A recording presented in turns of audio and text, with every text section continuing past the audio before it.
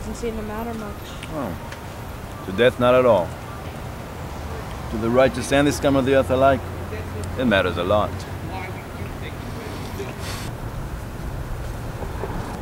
I was fucking sick of it.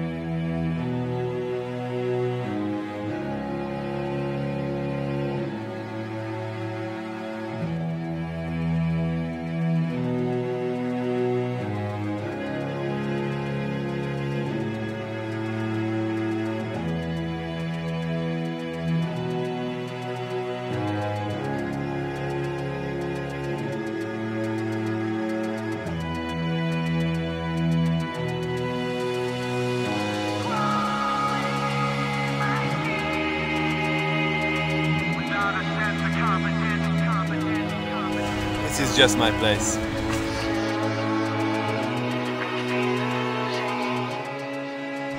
Every day I repent for my sins.